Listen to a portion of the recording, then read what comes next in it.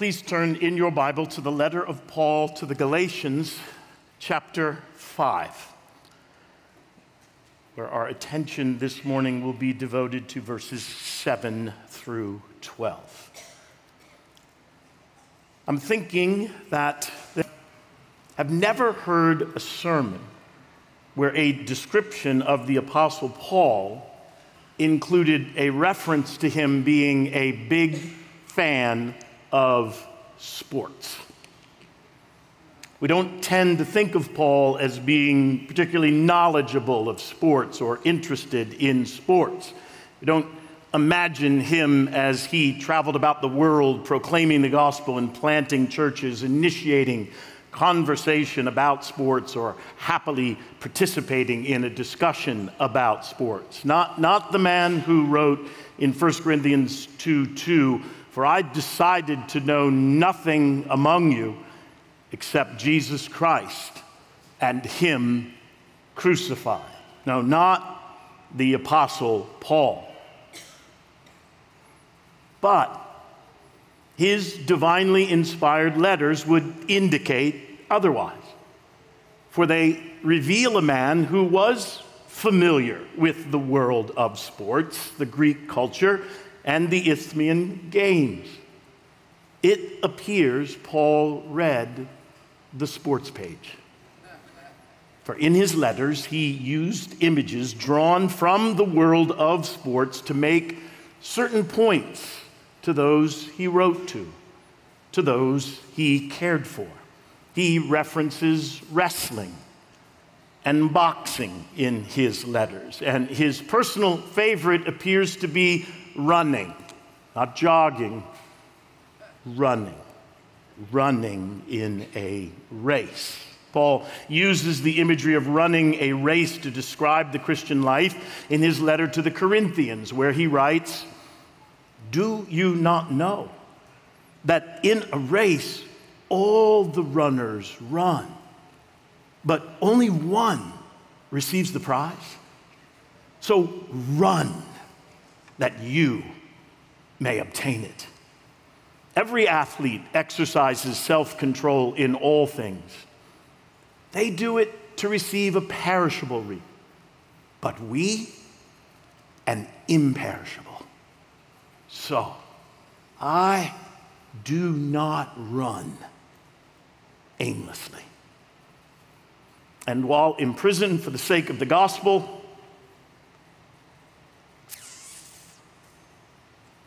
At the end of his life, just before his execution, he wrote to Timothy, I have finished the race.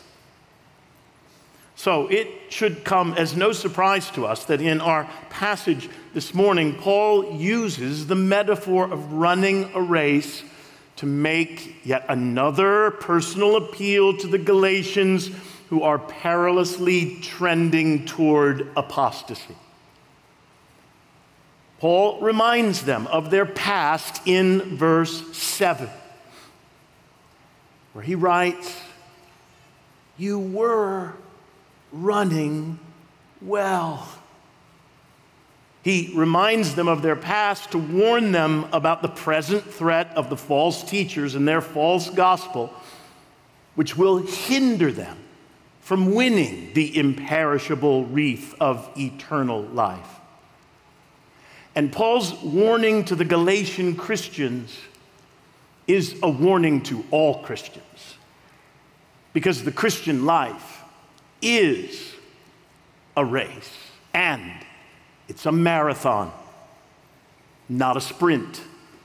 Think 26 miles, not 100 meters. And given the importance and length of the race, opposition and obstacles are to be expected. The Galatian Christians had started well. And a good start to the race is essential, but not sufficient. The Galatian Christians had been running well. But now they have been tripped up by the false teachers. And Paul's warning in this passage about the threat of false teachers and false teaching is a gift to them and a gift to each of us. For we are not exempt from being tripped up by the obstacle and temptation of legalism as we run our race. So, this morning, let's give our careful attention to this passage and what it reveals to us about the race of the Christian life we are all running so that we might run well. So that we might not only run well in the present, by trusting in Christ alone for our justification before God, but also so that we might finish our race well. Just like Joanne Colby and James Shuttler. Galatians chapter 5. Begin reading in verse 7 you were running well? Who hindered you from obeying the truth? This persuasion is not from him who calls you. A little leaven leavens the whole lump. I have confidence in the Lord that you will take no other view, and the one who is troubling you will bear the penalty, whoever he is. But if I, brothers, still preach circumcision, why am I still being persecuted? In that case, the offense of the cross has been removed. I wish those who unsettle you would emasculate themselves. In chapter 5, verse 1, Paul calls the Galatian Christians to stand firm in their freedom from what John Stott calls, quote, their former state portrayed as slavery, the dreadful struggle to keep the law with a view of winning the favor of God. Since Christ has set them free, free through, his, through his atoning death for their sins, they, they are to stand firm in this freedom.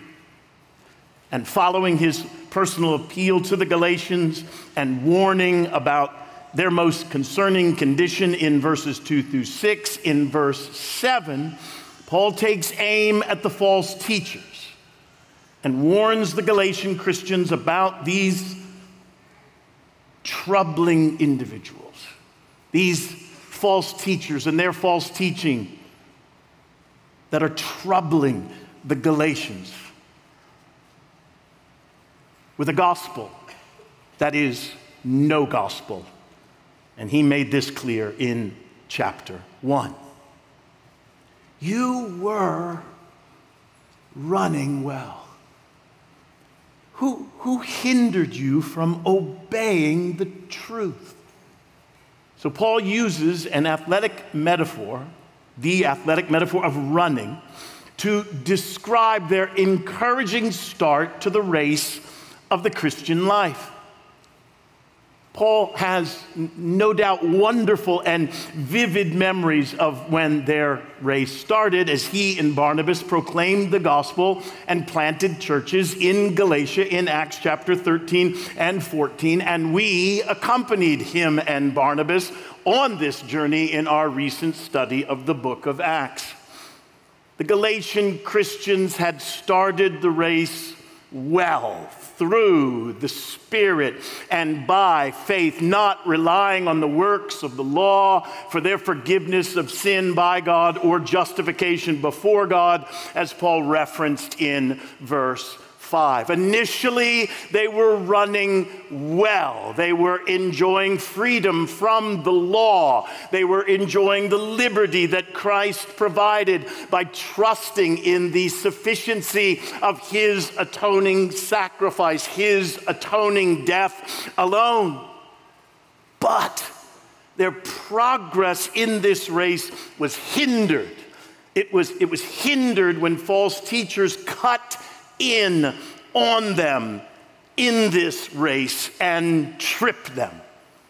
Who hindered you here is a rhetorical question. As from the opening sentences of this letter, Paul has identified the false teachers who are hindering the Galatian Christians from enjoying their freedom from the law because of Christ. In his commentary, Phil Ryken helpfully describes the effect of the false teachers when he writes the, the term Paul uses for cutting in, the word hindered in the ESV, was often used at the ancient Greek games. Races were not held on oval tracks in those days, but to the post and back.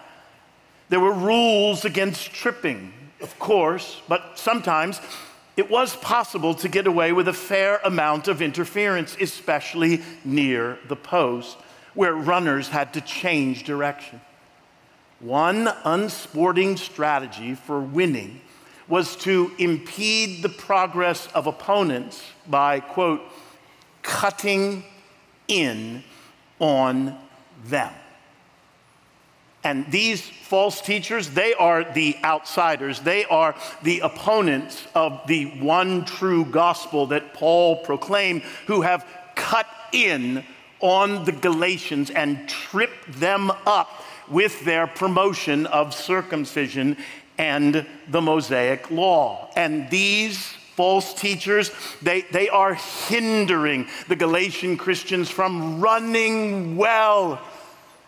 They are hindering them from obeying the truth of the gospel. Now, you, you might have expected Paul to write, who hindered you from believing in the gospel? Who hindered you from trusting in the truth of the gospel rather than obeying the truth of the gospel? But the truth of the gospel, not not the Mosaic law. The truth of the gospel is to be believed and obeyed. It is to be trusted in and applied so that we might avoid the two enemies of the gospel legalism and license. And my friends, hindrances, hindrances to believing, hindrances to obeying the truth of the gospel from false teachers and teaching still exist. Oh, very much still exist. And we must be alert to them. In his commentary, Thomas Schreiner describes these hindrances when he writes Here we see that the Galatians' defection does not stem from their own doubt about the Pauline gospel. No, others have come in from the outside and have raised questions about the legitimacy of Paul's teaching. Often difficulties arise in the Christian life when believers begin to doubt the truth of the gospel. Deviant teachings abound, and intellectual objections to the Christian faith seem to have no end. Part of what it means to persevere is to continue to believe in the gospel despite the objections that are constantly raised against it. In, in this fallen world, deviant teachings about the gospel, intellectual objections to the Christian faith have no end, I'm sorry to say, my friends. And your pastors, your pastors are fiercely committed to protecting you from them so that so that you each of you all of you will continue to run this race well. And Paul protects these vulnerable Galatian Christians by emphatically stating, notice, emphatically stating in verse 8, this persuasion is not from him who calls you. This persuasion, the insistence of the false teachers that circumcision is necessary to become part of the people of God, that keeping the Mosaic law is necessary for justification before God, is not from him who calls you. So Paul informs them that this attempt to persuade them to abandon the gospel of grace alone, through faith alone, in Christ alone, for this new theology of salvation, adding human works and human achievement, does not come from God, does not come from God who called them and saved them. And this persuasion, this message of the false teachers, it, it contradicts their conversion experience. Paul reminds them of the one who called them. So, in order to refute the erroneous persuasion of the false teachers, Paul draws their attention to the call of God they experienced at their conversion. Paul reminds them of the sovereign, gracious initiative of God in powerfully calling them through the proclamation of the gospel. They, they weren't merely invited, they were divinely summoned by God through the proclamation of the gospel. God Himself called them through the proclamation of the gospel. Their call was effectual, it was transforming in its effect on their lives. It was a divine summons. So, Paul reminds them that they were converted by the sovereign, gracious call of God they, they did not deserve because of their sin. But this sovereign, act of God. God acted upon them through the proclamation of the gospel, acted upon them and transformed them prior to their response to the gospel. He reminds them of their initial experience of sovereign grace as a reason to remain faithful to it and free from the enslaving experience of attempting to keep the law. And then Paul warns them about the potential adverse effect of these false teachers and their false teaching in verse 9, lest, lest they think this is uh, much ado about nothing. Verse 9 A little leaven leavens the whole lump. Here, here, here is another merciful warning provided by Paul as a means of protecting and preserving them. These false teachers and their false teaching about the necessity of circumcision and keeping the Mosaic law are like yeast. Now, I trust you understand, I do not speak from personal experience at this particular time, but I am informed by those who are that if you put just a little yeast into a lump of dough, eventually the entire lump of bread dough will be leavened. Original readers are no doubt familiar with this. This is an illustration of a small influence having a massive effect a small influence having a broad and significant effect. Paul warns them error spreads. Just a small bit of it, it spreads. So, the addition of circumcision as necessary for salvation requiring this surgery for inclusion as part of the people of God. Oh, this, this, might seem small. This might seem small and insignificant, but if you add anything, if you had anything to Christ as necessary for salvation. Paul has already made clear in verses 2 through 4 Christ will be of no advantage to you. You are severed from Christ, you who want to be justified by the law. You have fallen from grace.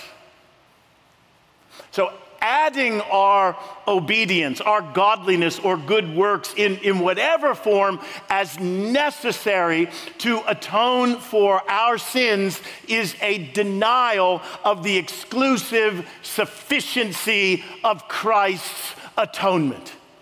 And this false teaching, oh, it may appear initially as small and insignificant. Paul says, not so.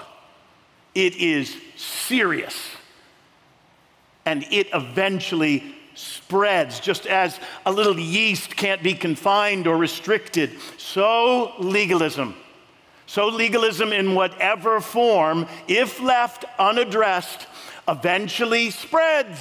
It spreads in its severity, it spreads in its scope, it spreads and ultimately influences the entirety of the church. So, actually, this is much appropriate ado about something very serious that is threatening the Galatian churches.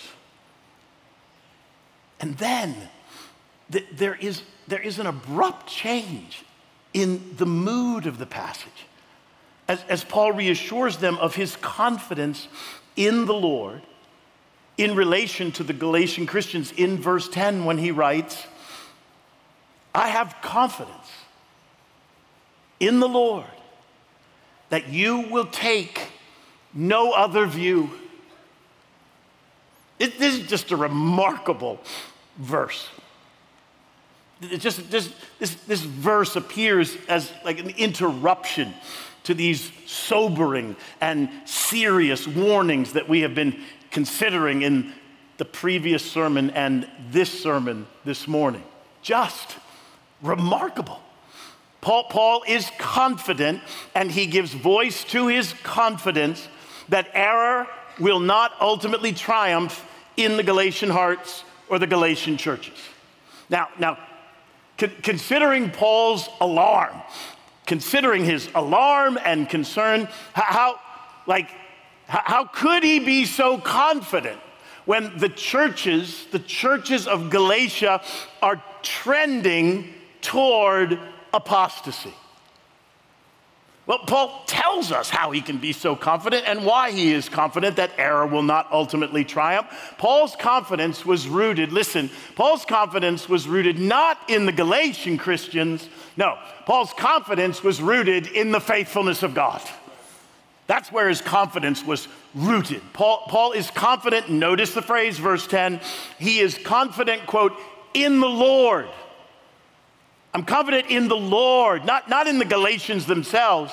I'm confident in the Lord that the ones he has called will not abandon the gospel and desert Christ for a different gospel that is no gospel. One scholar describes this as the optimism of grace. I like that, the optimism of grace. Now, Paul is, he's ultimately confident that he who began a good work in you, he who began a good work in them, will ultimately bring it to completion. The one who called them, the one who summoned them through the proclamation of the gospel to himself, he will protect them and preserve them. And my friends, our confidence this morning as Christians is ultimately not rooted in ourselves, but in the promise. The promise that the one who calls us is the one who keeps us. The one who calls his people keeps his people. If he calls his people, then he keeps his people. I, I, think, I think the Apostle Paul would, would have appreciated the song, He Will Hold Me Fast where the author writes, when, when I fear my faith will fail, Christ will hold me fast. When the tempter would prevail, he will hold me fast. He'll not let my soul be lost. His promises shall last.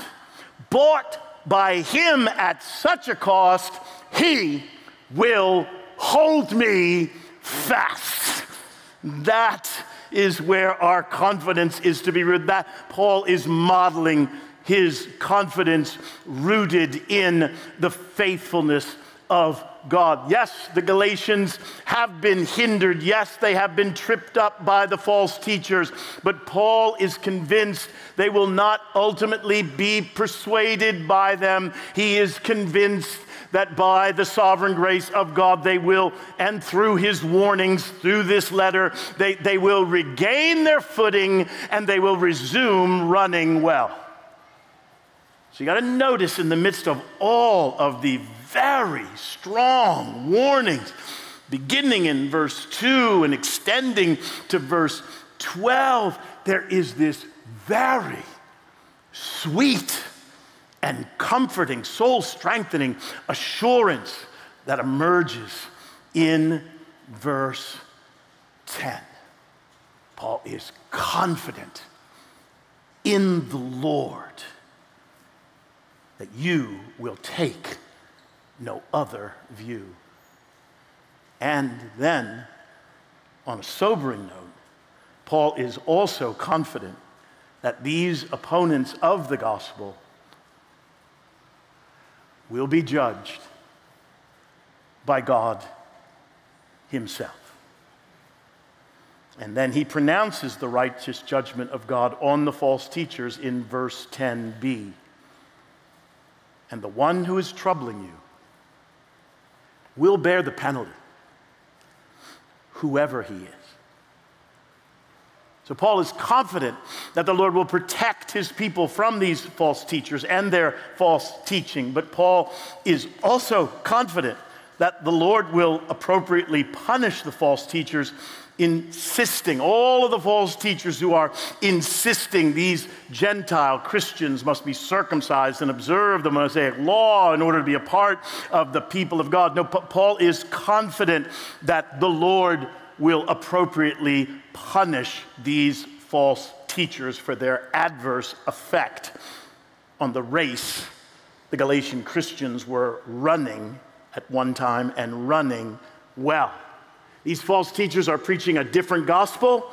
And if, listen, if they persist, they will be eternally condemned, as Paul has already articulated, as he articulated in the opening chapter of this letter. These false teachers will be judged on the final day. And this warning, this warning is to protect the Galatians from being influenced by them so they won't be numbered among them on that day. These false teachers, they, they face a most certain judgment for hindering. They, they have cut in on the Galatian Christians, they have tripped them up. They were running well and they have been tripped by the false teachers and this false gospel. And then Paul adds quite the personal wish in verse 12. I wish those who unsettle you would emasculate themselves. Now, listen, if you're unfamiliar with these verses, I, I doubt these are verses that are underlined in your Bible. I think I would be concerned if they were. But if you find yourself uncomfortable right now, very comfortable with Paul's confidence that error will not triumph, he will hold me fast, good, all in. And then Paul transitions and he's similarly confident that the false teachers will be judged. And if you find yourself uncomfortable, unsettled by these verses. Perhaps, perhaps what John Stott has written will help you understand the, these, these, these verses are appropriate in tone and content. Mr. Stott writes Paul's sentiment sounds to our ears both coarse and malicious. We may be quite sure, however, that it was due neither to an intemperate spirit nor a thirst for revenge. It was due to his deep love for the people of God, his deep love for the gospel of God. I venture to say that if we were as concerned for God's church and God's word as Paul was, we too would wish that false teachers might cease from the land. Paul's wish that false teachers masculated themselves. Listen, it, it functions. It functions to completely discredit the motives of the false teachers, the content of their teaching, and the value they have placed on circumcision. And he does this in order to protect the Galatian Christians from their influence. So this might seem harsh to our modern ears, but my friends, as Paul has made clear repeatedly from the outset, there are eternal implications. There are eternal implications to what the Judaizers were proclaiming in their distortion of the gospel. This, this could not be more serious. And therefore, what might seem harsh to us and our modern ears is actually appropriate in light of the threat of false teachers and teaching and the eternal implications in the lives of the original readers. And finally, typical of false teachers, it appears they spread false reports, slanderous reports about Paul and the message he proclaims.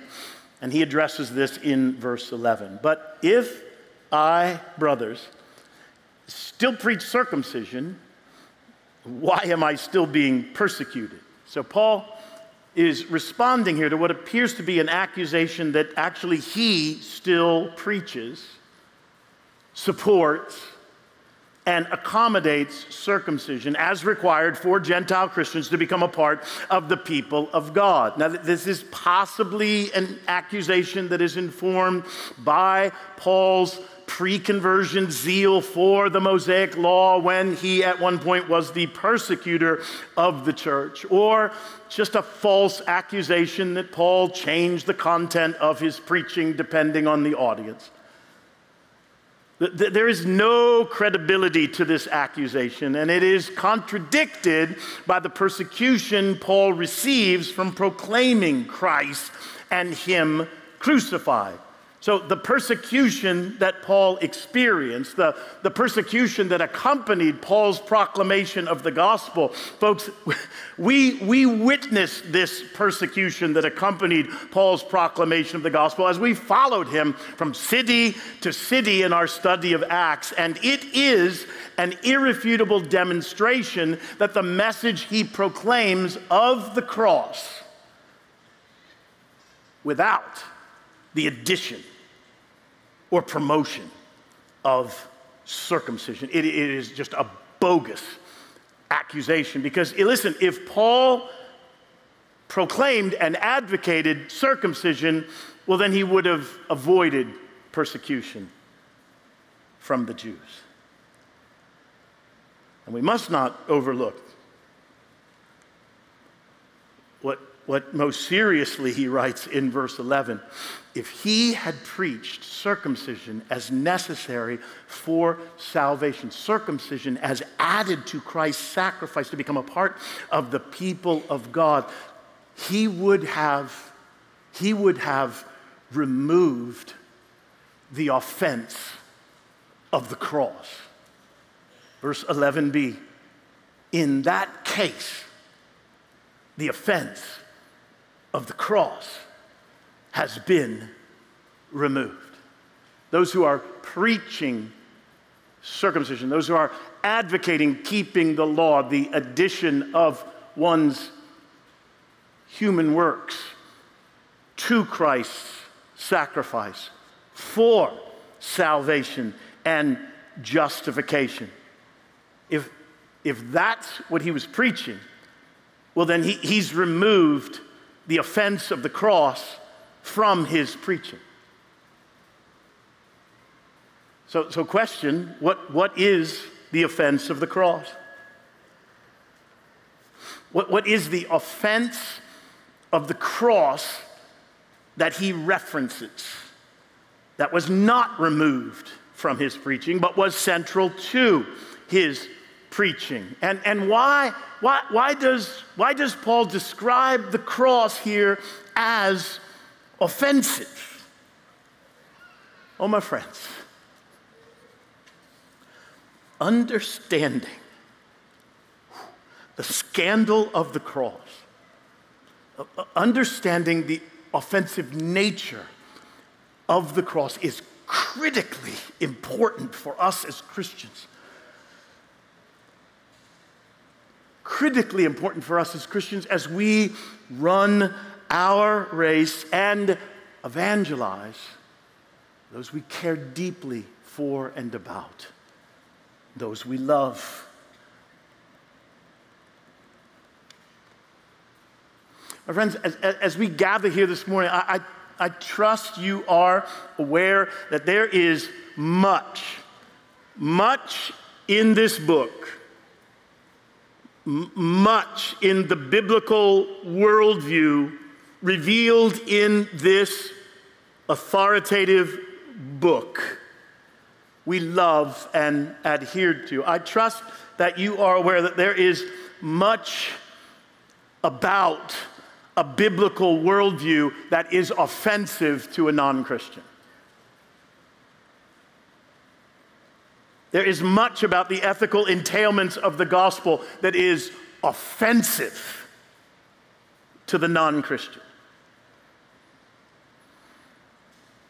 And we have a fresh illustration of this as the month of June commences. As the month of June begins, we find ourselves living in a culture and a country that disregards and rejects the goodness, the beauty, and the wisdom of God's design and purpose for male and female as image bearers. And instead, engages now in a month long, open, and unashamed celebration of what God describes as perversion. the biblical worldview, the beautiful biblical worldview of sexuality is deeply offensive to many in our culture.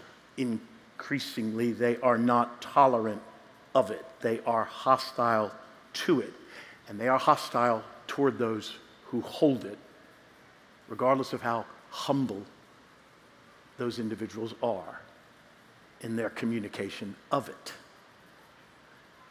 The content is offensive. Content of a biblical worldview. And by the way, the, the, the list of what Holy Scripture declares is righteous and good and what our culture finds offensive in response, it's, it's a lengthy list. But without a doubt, the most offensive message of the Bible is the cross. The cross is the most offensive message of the Bible. Why? Why, why you might ask? What, why? Like, why is this so? Well, I, I, I can't improve on the theologically informed and well written explanation that John Stott provides in his commentary on, on what Paul means by the offense of the cross in this verse and why the cross is offensive, most offensive to mankind. Can't improve on this. And I pray that it serves you this morning. Mr. Stott writes Paul sets himself and the false teachers in stark contrast. They were preaching circumcision, he was preaching Christ and the cross. To preach circumcision is to tell sinners that they can save themselves by their own good works. To preach Christ crucified is to tell them that they cannot, and that only Christ can save them through the cross. The, the message of circumcision is quite inoffensive, popular because flattering. The message of Christ crucified is, however, offensive to human pride, unpopular because unflattering. So, to preach circumcision is to avoid persecution. To preach Christ crucified is to invite it. Here's why it's offensive people hate to be told that they can be saved only at the foot of the cross, and they oppose the preacher who tells them so.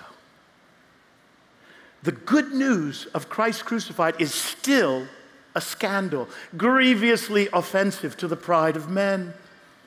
It, it tells them they are sinners, rebels, under the wrath and condemnation of God, that they can do nothing to save themselves or secure their salvation, and that only through Christ crucified can they be saved.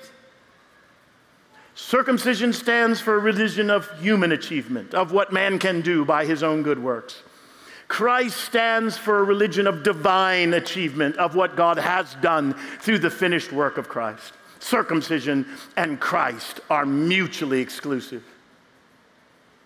And behind our choice lurks our motive. It is when we are bent on flattering ourselves and others that we choose circumcision. Before the cross,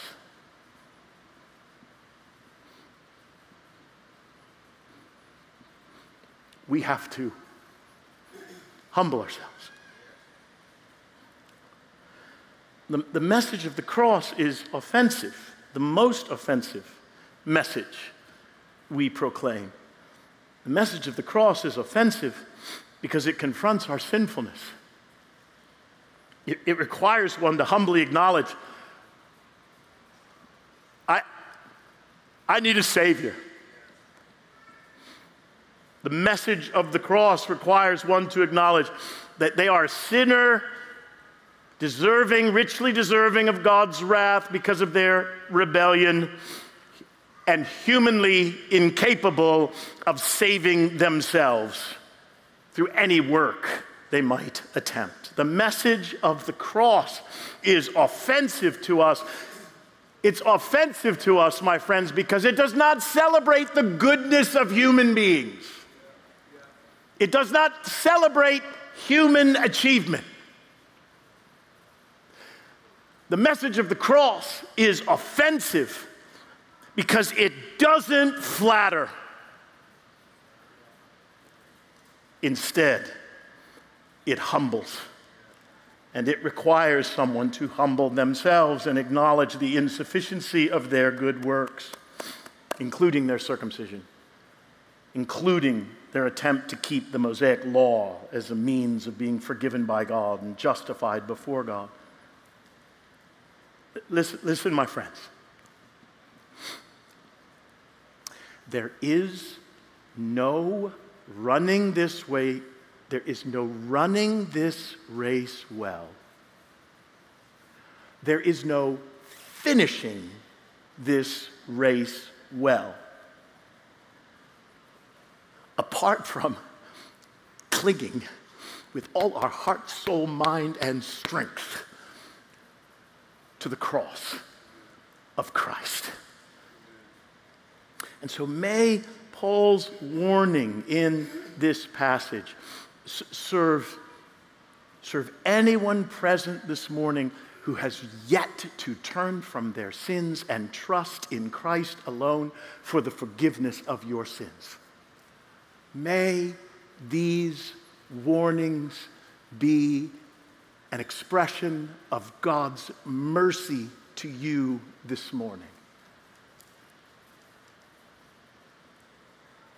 Rather than being offended, may you be humbled.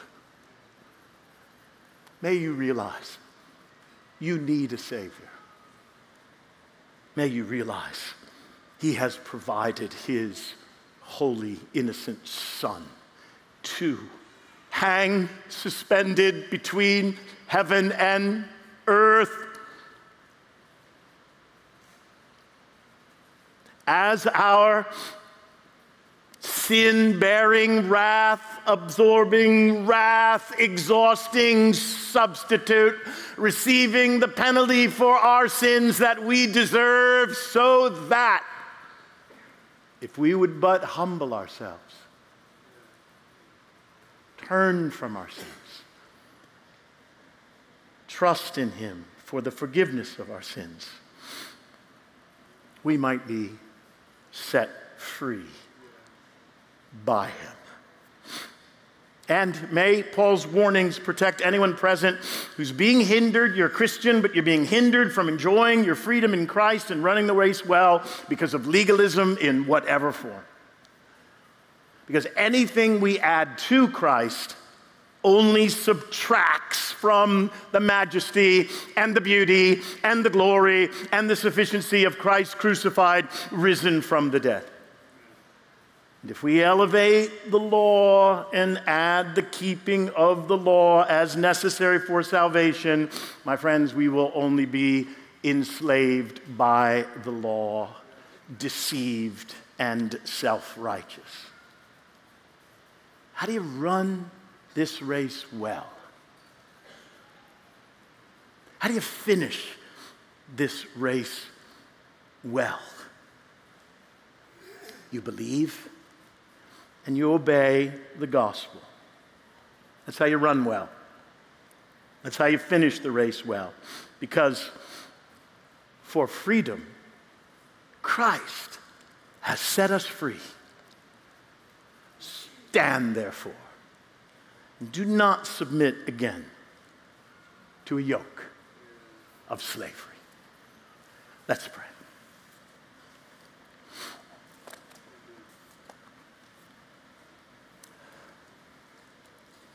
Father, thank you for this passage and its relevance to each and every Christian and its relevance to each and every non Christian in this room. Lord, thank you for showing us how to run well, how to finish well. Thank you for warning us so that we are alert to the hindrances to running well and finishing well. So, as we conclude,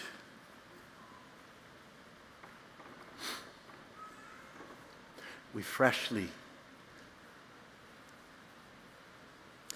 acknowledge our desire and our intention to believe that we have been saved from your wrath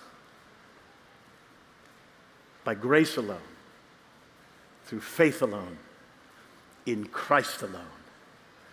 And we purpose by your grace to run well and to run well to the finish by believing and obeying the truth of this gospel.